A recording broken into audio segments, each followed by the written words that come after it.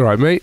We've got something a little bit different happening here today. I just wanted to show you a very, very quick tip on how to get um, bigger, sort of thicker sounding vocals.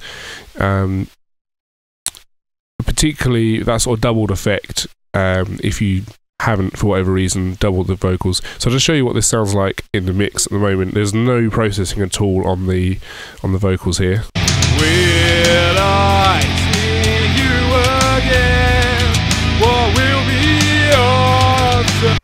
And yes, that is me singing.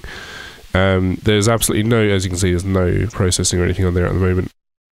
And so what, you, what I do in this particular instance to get that sort of double effect, first off, copy and paste that onto a second track, and on the second track, I will put on uh, a pitch correction, preferably in the scale that you are uh, singing in.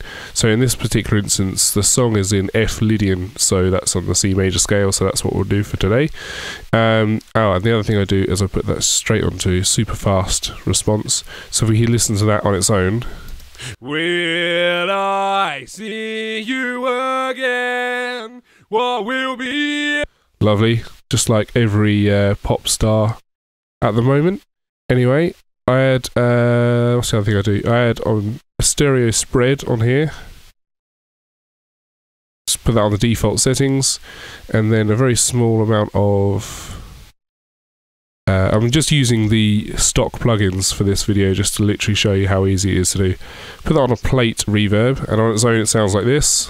Will I see you again?